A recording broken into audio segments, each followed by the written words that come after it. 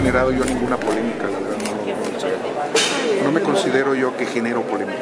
Hago mi trabajo, hago lo que la ley me manda y como todo ejercicio público habrá quien en una oportunidad le pueda parecer que actuamos de una manera o de otra manera, pero no nos hacemos, o sea, tenemos la, tranquilidad en la auditoría que actuamos dentro del marco.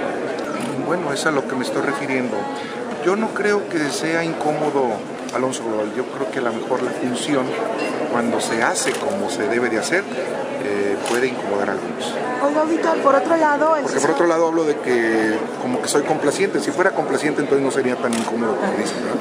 Bueno, yo lo que sí les puedo hablar es de la austeridad que aplicamos en la Auditoría Superior, que nos permitió con nuestras propias economías construir nuestras instalaciones.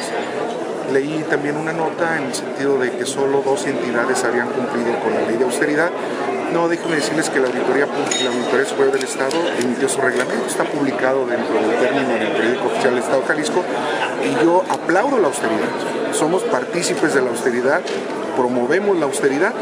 ¿Por qué? Porque sabemos que se puede hacer cada día más con menos y a los resultados materiales nos remontamos. Ahí estamos nosotros.